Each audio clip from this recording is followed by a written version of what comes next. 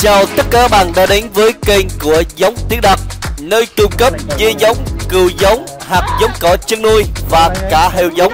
Video sau đây là chuẩn bị sẽ giao dê, giao cừu về tỉnh Đồng Nai nha bạn. Khách hàng của chúng tôi à, đang mua. Khách hàng lựa chọn là dê cái là những con dê bách thảo Và dê đực để phối giống là con dê bo đầu đỏ.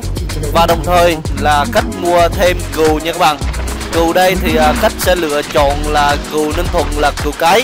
Và đặc biệt sẽ chọn thêm một con cừu đực canada để phối giống cho nó chuẩn nha các bạn. Đây là những con cừu và những con dê thật sự rất đẹp đã lựa chọn cho khách đồng nai. Cho nên là khi mà các khách hàng mà mua cừu và dê tại tiến đạt sẽ rất là yên tâm.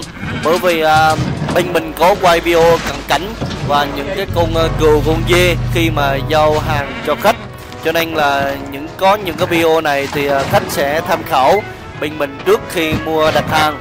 Cho nên sẽ rất là yên tâm. Các bạn à, đang nhìn thấy là dê cừu đã bỏ vào bao xong. Đây là bỏ vào à, bao con cò, bao 25 kg khi mà vận chuyển với những tỉnh gần. Khi mà vận chuyển tỉnh gần thì sẽ vận chuyển bằng xe khách. Khi mà vận chuyển bằng xe khách thì cừu và dê sẽ được bỏ vào trong cái hầm xe nha các bạn qua cái đầu bỏ vô trong sau hay sao bỏ vô sau bỏ vô trong gấp luôn đi. Các bạn đang nhìn thấy đây là cái hầm xe. Thì xe nó sẽ chừa một cái diện tích để bỏ những cái con cừu con dê cho nó phù hợp cái hầm nha bạn. Cừu thì à, hiện tại là khách đang chọn rất ok luôn. Cừu là hiện tại là cừu tơ còn dê là cũng là dê tơ nha bạn. Đồng đều luôn dê đực cũng tơ luôn cừu đực cũng tơ luôn. Các bạn nào mà thật sự mà có nhu cầu lựa chọn những cái con cừu chất lượng những cái con dê chất lượng khi mà nuôi con giống. Các bạn có thể liên hệ qua giống chúng ta để có được những con giống chất lượng nha bạn. Rồi, cảm ơn các bạn đã xem video. Các bạn nhớ bấm like và đăng ký kênh để xem những video hấp dẫn của chúng tôi hơn nhé bạn.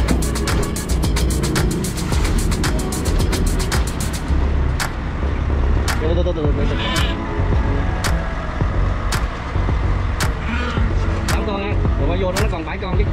Vem, vem, vem, vem, vem.